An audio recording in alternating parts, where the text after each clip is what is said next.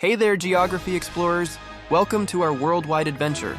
Let's discover five unbelievable geographical facts in a flash. First up, Point Nemo.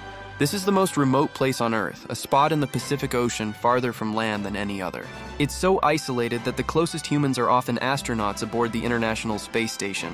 Next, the Danakil Depression in Ethiopia. It's one of the hottest, lowest, and driest places on the planet.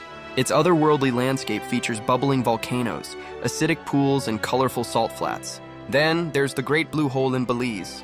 This giant underwater sinkhole is over 300 meters across and 124 meters deep. It's a diver's paradise, revealing ancient stalactites in its mysterious depths. Mount Thor on Baffin Island, Canada is another icon. This peak has the Earth's greatest vertical drop, a staggering 1,350 meters. It's a sheer cliff face that challenges even the most expert climbers. Finally, the door to hell in Turkmenistan. This fiery crater has been burning natural gas continuously since 1971. It was lit to prevent the spread of methane gas, creating a spectacular fiery pit.